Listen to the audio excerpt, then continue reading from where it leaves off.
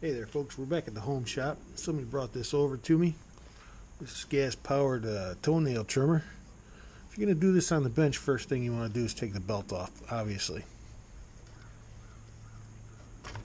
Alright, now if it starts, that ain't going to start swinging. Now he said he can't get it started, it's been sitting for a couple years. I'm going to just gather. Take a wild stab here. Oh, Jesus. Woo! Yep. Pretty sure that's what's Oh, my eyes are burning. just to verify, we're going to do one quick check. Uh, easiest way to check the uh, integrity of the engine and the ignition system is to just shoot it with a little carburetor cleaner. If it pops on spray and won't run on its own, you know what the problem is.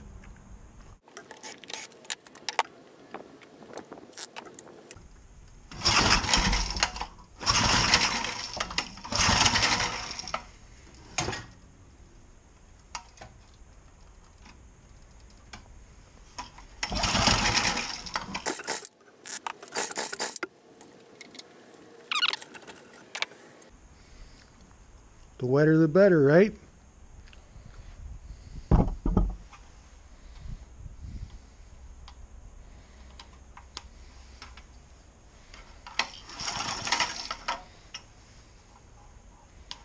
Okay, we got a nice crisp blue spark. Plug's wet. Didn't even pop.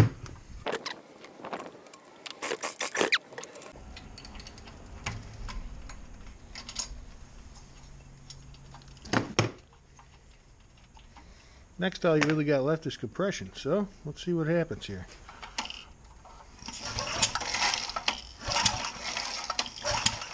Not very scientific, but it's got some.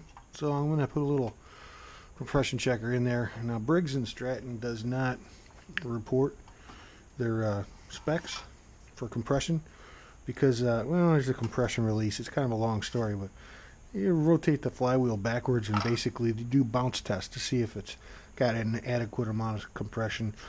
Um, for a rule of thumb, though, it's always going to be at least 100, 110, 115, 125, something like that. You got good compression there. If it's around 60, 70, 80, something's wrong.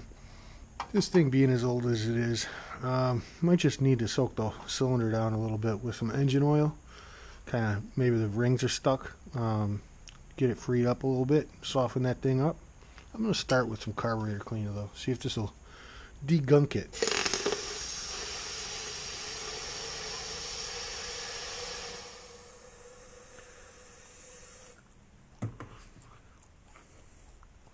We'll go see what happens after a six pack. Alright, we got some carburetor cleaner down in there. Also, you got stuck rings. Sometimes if you just soak the cylinder down, a little bit of brake fluid, this will kind of penetrate the uh, carbon and the ring deposits, get them to snap back out. So just fill that up and uh, give it a little while, a couple hours maybe. Alright, well it's the next day. The cylinder sat all night soaking down. Put this rag over here, see if there's anything that comes out. Might have drained all in, down into the crankcase.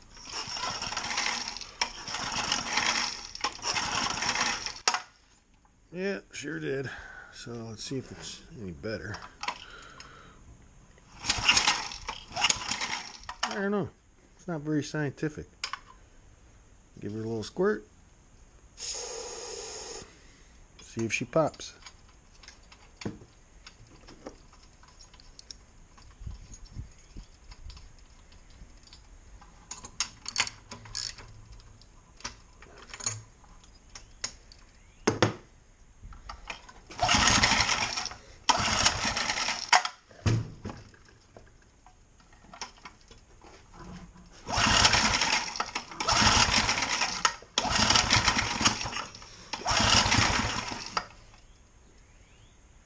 Promising.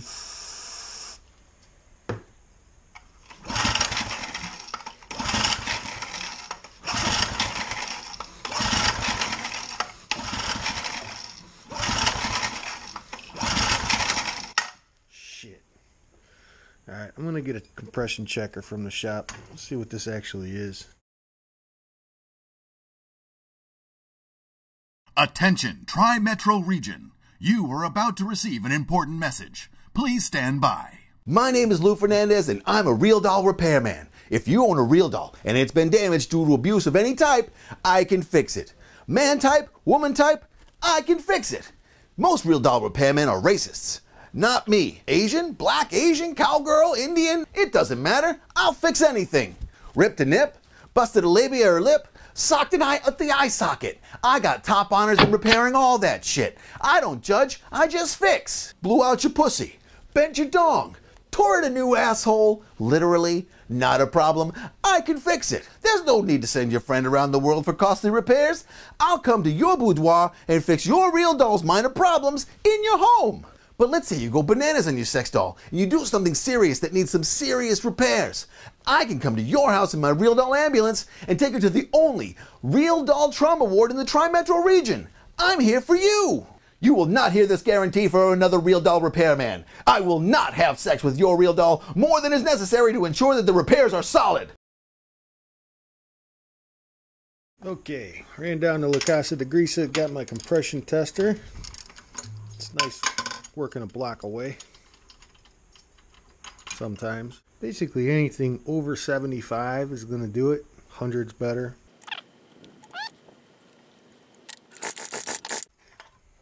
Well, mystery solved. 50 psi. That ain't shit. I'm gonna have to tear her down, see what's what. Might have to adjust the valves, do a valve job on it. Could have a blown head gasket, but I probably hear that. And it's also possible that the cylinder is pretty much screwed, but uh, I doubt it with the amount of hours on this thing. It's not that old. It's a 93. These types of things usually get a couple hours on them a year. I bet it's in the valve train. Let's see what this guy wants to spend.